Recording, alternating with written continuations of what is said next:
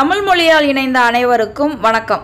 இன்றைக்கி வந்து நம்ம அந்த சம்மருக்கு தே ரொம்ப கூலிங்காக இருக்கிற மாதிரி ஒரு மில்க் ஷேக் தான் பார்க்க போகிறோம் இது ரொம்ப ஹெல்த்துக்கு ரொம்ப நல்லது. குழந்தைங்கள்லாம் விரும்பி சாப்பிடுவாங்க. இதுக்கு வந்து நான் ஒரு கேரட்டை வந்து நல்லா தோல் சீவி சின்னதாக வெட்டியிருக்கிறேன். நீங்கள் துருவிட்டு சேர்த்திங்களா இன்னும் வந்து ரொம்ப ஃபைனாக ரொம்ப சூப்பராக வரும். நீங்கள் ட்ரை பண்ணி பாருங்கள் இதுக்கு வந்து நான் இனிப்புக்காக தேன் எடுத்துருக்கிறேன். உங்களுக்கு வெல்லம் சுகர் எது வேணாலும் நீங்கள் சேர்த்துக்கலாம்.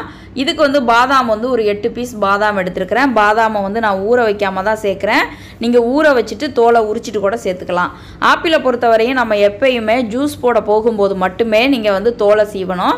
இல்லைனாக்கா அது கருத்து போயிடும் அதனால் நீங்கள் எப்போவுமே ஞாபகம் வச்சுக்கோங்க ஆப்பிள் வந்து ஜூஸ் போட்ட உடனே சாப்பிட்றணும் அதே மாதிரி ஜூஸ் போட போகும்போது நீங்கள் ஆப்பிளில் உள்ள தோலை ரிமூவ் பண்ணிடுங்க உங்களுக்கு வந்து ஆர்கானிக் ஆப்பிள் கிடச்சிச்சினாக்கா நீங்கள் தோலோடையே சேர்த்து இந்த மில்க் ஷேக்கை பண்ணிக்கலாம்.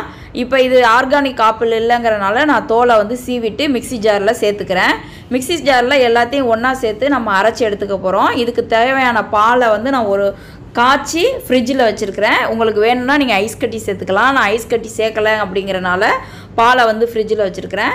இப்போ பாலையும் சேர்த்து நல்லா மிக்சியில் ஃபைனாக நம்ம அரைச்சிடலாம் இதில் கேரட்டு ஆப்பிள் பாதாம் எல்லாம் இருக்கிறனால க சூப்பராக இருக்கும். குழந்தைங்களுக்கு ரொம்பவே ஃபில்லிங்காக இருக்கும்.